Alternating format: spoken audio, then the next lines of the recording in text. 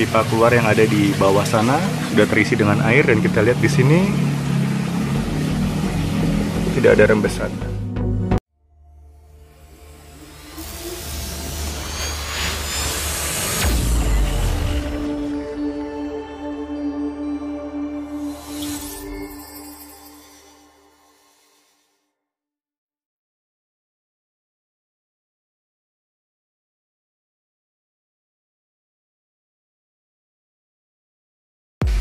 Halo teman-teman, jumpa lagi di channel Nilaku. Di video kali ini saya ingin sedikit memberikan informasi bagaimana caranya kita bisa menggunakan ember dengan kapasitas 70 liter untuk menjadi filter di sistem RAS.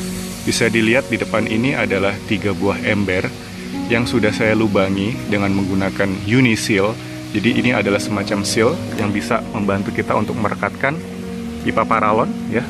Ini ada ukurannya, ini banyak sekali dijual di marketplace.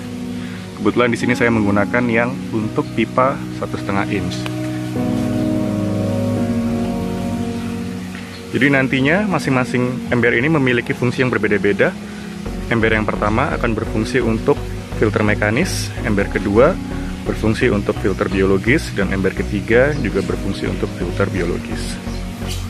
Contoh di sini ember ke-1 untuk filter mekanik kita hanya memberikan satu lubang di sini, kemudian ember kedua kita memberikan lubang yaitu di bagian atas dan bagian bawah. Kenapa? Karena tujuannya lubang di bawah ini adalah untuk menerima aliran air yang ada di ember pertama. Jadi nanti di ember pertama akan ada pipa di sini yang mengalirkan ke bawah. Nah, harapannya air masuk melalui pipa di sini dari bawah naik ke atas. Tentunya selama air naik ke atas dia akan e, melewati serangkaian dari gayobol. Jadi harapannya air telah melakukan proses nitrifikasi yang dilakukan oleh bakteri yang ada dalam biobol. Kemudian air akan naik di sini dan akan dikeluarkan melalui lubang di sini untuk kemudian diteruskan dari bawah lagi di ember ketiga. Cara kerjanya seperti itu. Jadi dari ember ketiga air akan naik lagi di atas dan akan kita alirkan ke kolam. Seperti itu cara kerjanya. Di sini saya juga ada keni ukuran satu setengah in sebanyak 6 buah. Ini bisa ditemukan di toko-toko bangunan ya.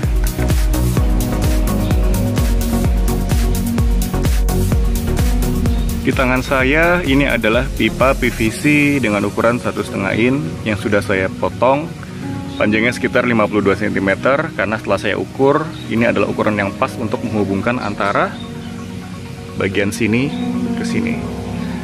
Oke, kalau sudah seperti ini kita tinggal memasangkan keninya saja. Seperti ini ya.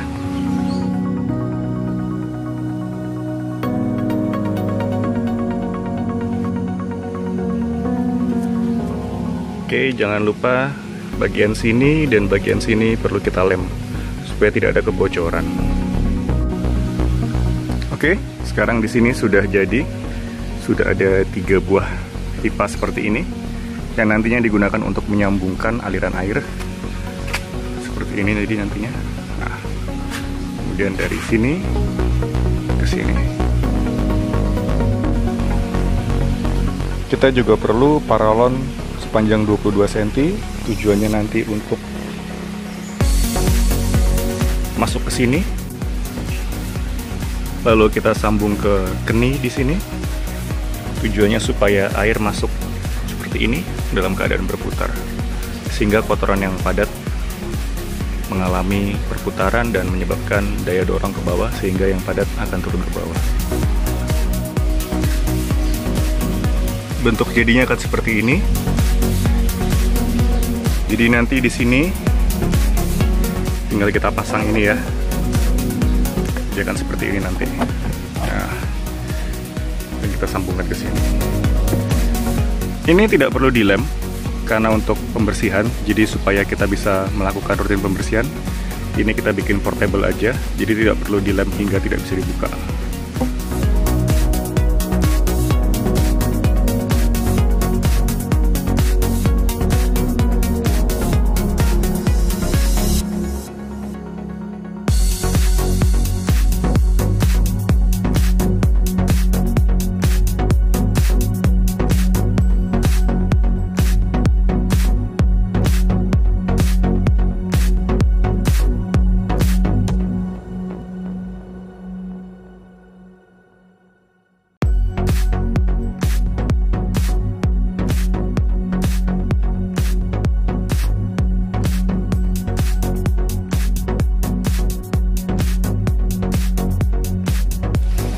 Oke, instalasinya sudah jadi, sudah selesai. Langkah terakhir adalah memastikan tidak ada kebocoran dengan cara kita mengisinya dengan air. Contoh di sini, ini air sudah mulai memenuhi pipa buangan yang ada di bawah. Saluran keluar di sini kita lihat tidak ada yang bocor, berarti sudah aman, sudah bisa digunakan. Begitupun air yang ada di ember kedua. Kita bisa dilihat pipa keluar yang ada di bawah sana sudah terisi dengan air dan kita lihat di sini tidak ada rembesan.